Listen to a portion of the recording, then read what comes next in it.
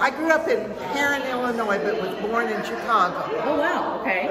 Um, who were your favorite teachers? Oh, my high school art teacher. Yeah, what do you remember her name? It was a he. Oh, okay. John DeHonich. Okay. DeHonich. And that was high school? That was Herrin High School. Herrin high school. Okay, got it. Who influences you the most? in my artwork. Hmm.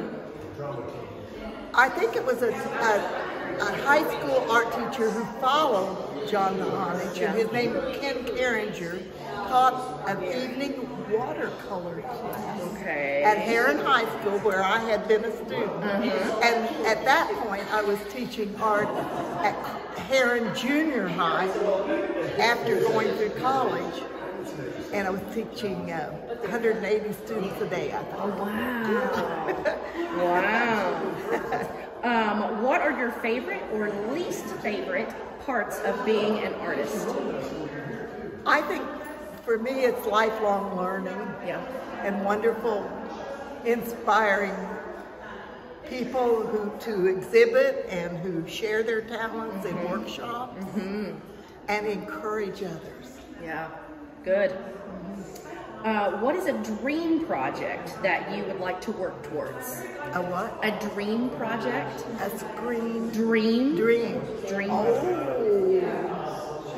Uh, I've been having several themed environmental issues Uh, exhibits in Fiberworks. Oh, yeah. And the latest one is about animals and their habitats, and we'll have a solo show at Giant City State Park Visitor Center for November. But after that, I'd like to get back more to mixed media 2D and maybe some 3D work. And our Quilt Guild recently uh, visited the Quilt Museum in Paducah where they had quilters make totems out of fiber, 3D, maybe like a quilt wrapped around a pole. Oh, wow. And the totem might be environmental, it might be uh, spiritual, it might be uh, a tribute to flowers or nature. cool. And we're going to do that at our next guild meeting Oh, wow. with cardboard tubes. That's And cool. we all bring our fabric and our little quilt pieces, our quilt blocks. It'll be. Interesting. It'll be fun.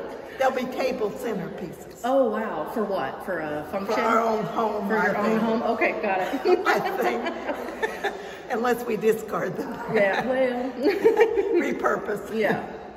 What is on your playlist right now? Your music playlist.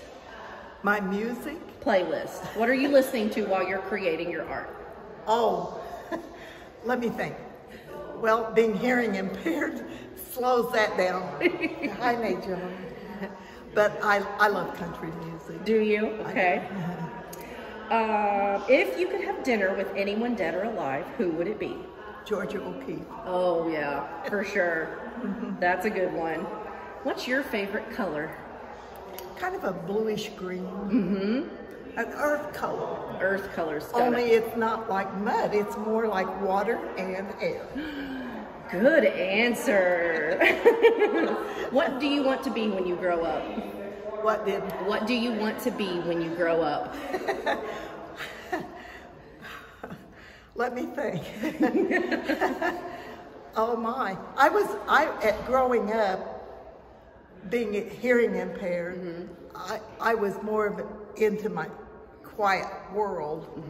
And in high school, we took a, some kind of a interest survey, and I was told when I grew up, I needed to be in a, not a lighthouse, that would, that would have been all right, but like the fire uh, stations that, you know, you watch for forest fires. Oh, yeah. But of course, now I'm very interested in nature, Mm-hmm. and, but I love to commu- communicate and share with people. So Mm-hmm. thank you.